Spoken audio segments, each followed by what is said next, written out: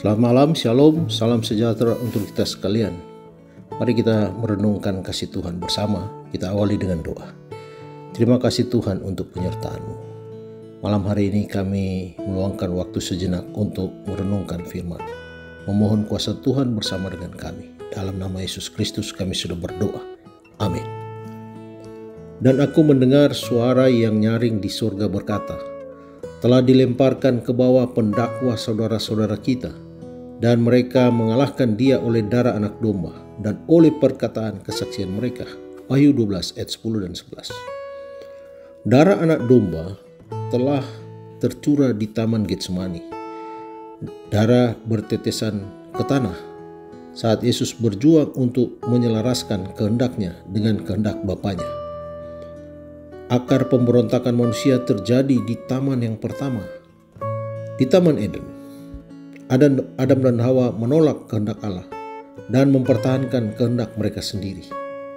Saat Kristus memenangkan peperangan di taman yang lain, kemenangannya itu adalah kemenangan seluruh umat manusia. Saya tidak tahu bagaimana dengan Anda, tetapi saya menghadapi peperangan kehendak setiap hari. Walaupun saya tidak perlu berperang melawan alkohol, tembakau, dan obat-obat terlarang, sering saya bergumul dengan kecanduan yang lebih Kristiani.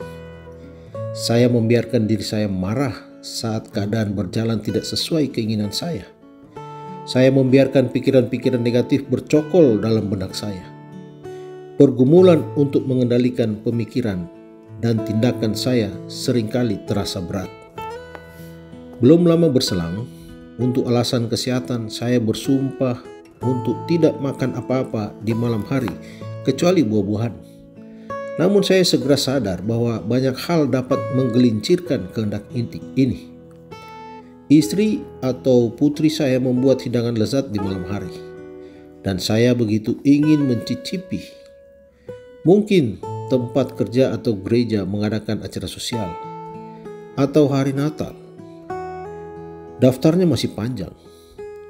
Lemahnya kehendak sangat jauh berakar ke dalam kondisi manusia setelah kejatuhan manusia di Taman Eden. Jalan menuju kemenangan tetaplah sama. Mustahil kita menang atas dosa kecuali kita benar-benar meresapi kemenangan Yesus di kayu salib. Yesus telah sepenuhnya menanggung semua dosa dan kegagalan kita di kayu salib. Saat kita sadar bahwa Dia telah menghapus catatan kegagalan kita dengan dirinya, barulah kita bisa mulai menyelaraskan kehendak kita dengan kehendak Allah dan mematahkan belenggu masa lalu.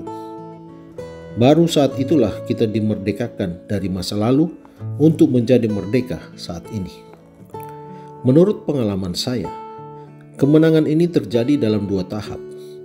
Yang pertama, kita perlu meresapi kebenaran. Wahyu pasal 12 ayat 11. Salib telah memenangkan peperangan yang kedua, dibutuhkan waktu bagi orang-orang yang terluka dan teraniaya untuk merasakan apa yang sudah mereka ketahui.